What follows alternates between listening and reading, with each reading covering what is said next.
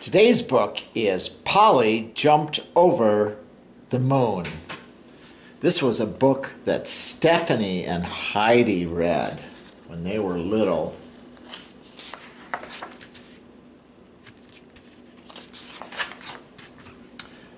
Polly wouldn't speak. Polly wouldn't sing.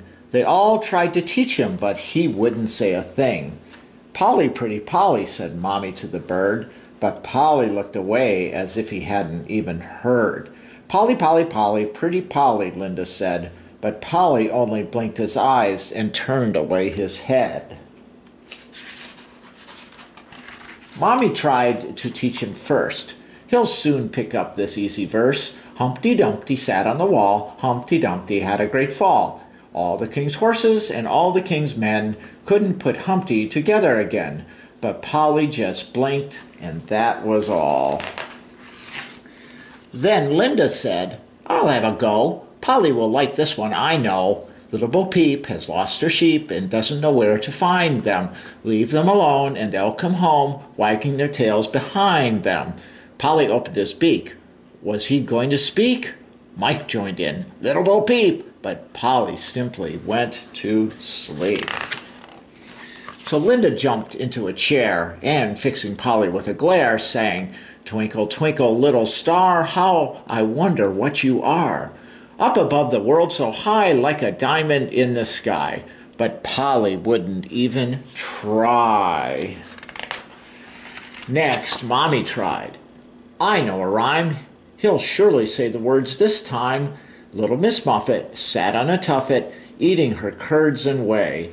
There came a big spider who sat down beside her and frightened Miss Muffet away. But not a word would Polly say. Mike said, I think it's my turn. I know a rhyme that he could learn. I had a little nut tree, nothing would it bear, but a silver nutmeg and a golden pear. The king of Spain's daughter came to visit me, all for the sake of my little nut tree. Oh, Polly, Mike cried sadly, why won't you look at me? Don't shout at him, said Daddy. Now, that's not the way to teach him how. I know some good rhymes, too. Cock-a-doodle-doo, my dame has lost her shoe. My master's got his fiddling stick and doesn't know what to do. It's no good, Dad, said Linda. He's turned his back on you. On lots of days they said their rhymes and sometimes they would sing, but Polly simply tucked his head underneath his wing.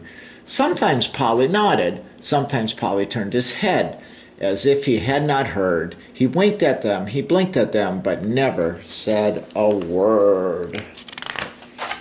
Then Mommy began to sing one day, Hey diddle diddle, the cat and the fiddle. Hey, squawked Polly, hey! What did he say? Did he say hey? Mike and Linda cried. Polly stared at them. Polly glared at them. then turned away and sighed. Mom told them both to go away. Leave it to me, she said. I'll teach him to speak. He'll soon open his beak. He'll be talking by Christmas Day. On Christmas Day, Polly opened his beak. Would he speak? Polly, Mommy coaxed him and gently stroked his head. He blinked, he winked, and then this is what he said. Twinkle, twinkle, black sheep, sitting on a wall, with little Bo Peep Peep, he had a great fall. I had a little nut tree eating curds and whey. A spider came to marry me and frightened Miss Mufferty away. Humperty, Dumperty, Mufferty, Dufferty. Hanging out the clothes with rings all, on all her fingers and bells on all her toes with a pocket full of rye like a diamond in the sky. Little Bo Peep Peep lost her peep, lost her shoe, cock-a-doodle-doo.